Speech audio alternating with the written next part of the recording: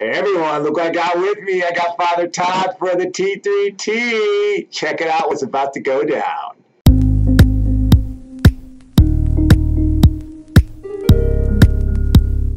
It's great to be together and to be looking at all of the stuff that's coming up. It's a very busy time, busy place. It's all great. It's all really good. So, Christian, I'm thinking. So, this coming Sunday, Yes. we've got a bunch of people who are coming for worship, Uh-huh. and so we probably ought to be thinking about something we're going to say to them. Do you think? Ooh, wait, it's actually part two of this sermon series we got going on. I forgot there's actually seven more parts. We're not done. Uno, dos, uno, dos. Yes. Hey, hey, hey. So come join us. We're talking about the image of God and what it means for us to be able to understand who God is, or Mhm. think we understand, or maybe even have our understanding changed so that we can be freed up for a bigger idea about who God is. So stay tuned. Come on this Sunday, this Saturday, uh, and check it out with us. But that's not all we got going on because we got a number two. Yes, on uh, we got a number two. on, um, on Friday. It's on the mind. Yes. Um, the kids will get it, right? They will. um, on, on Friday, uh, we uh, have our cultural competency workshop. Mhm. As you know, we, we planned for this uh, like a month and a half ago, but unfortunately, our workshop leader was sick.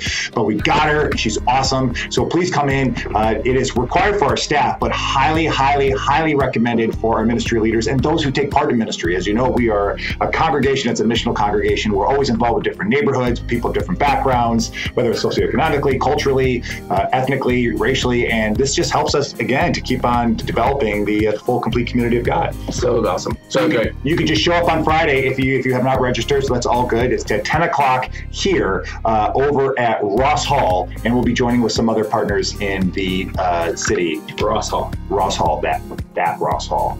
Um, and and that's not even the end of it. There's there's more going No way. Oh my gosh, you even more. I can't believe it. I can't believe it. So I think probably one of the things we ought to talk about is Cursillo, women's Cursillo is Mm. Hey, coming up.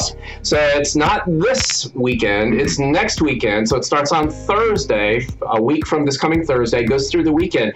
And Cursillo, uh, I don't know if everybody knows this. So Cursillo is is an ancient practice. Uh, started in Spain, and it was it was a way of people getting away together in order to be able to be spiritually renewed.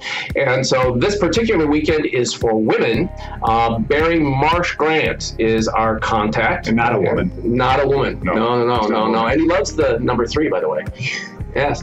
So, so contact him. Call the church office. Get your name in, uh, ladies. It is a it's a great opportunity, and you will be glad that you did. And we'll be praying for you. We will be praying for you. So many people come back from that weekend, like really. I mean, I- we know we use this word a lot, but it's totally transformed. Yeah. So That's if you cool. can get the time off, you're really missing that Thursday and Friday, but it's really Thursday night.